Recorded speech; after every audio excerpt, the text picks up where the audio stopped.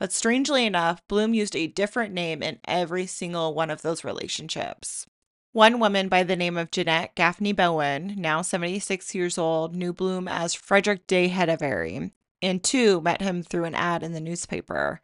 She recalled a rather whirlwind romance, if you can call it that. On their first date, Blum told Jeanette that he had recently lost his home, so Jeanette offered to let Blum live in a studio that she had in her garden. As time went on, Frederick approached her with the idea of starting a rare coin business, and Jeanette agreed. She gave him her bank card to take care of expenses for the business. He would go on to withdraw over $30,000 from that bank account. And much like Marion, he pressured Jeanette to sell her home in Sydney and purchase an apartment in Paris.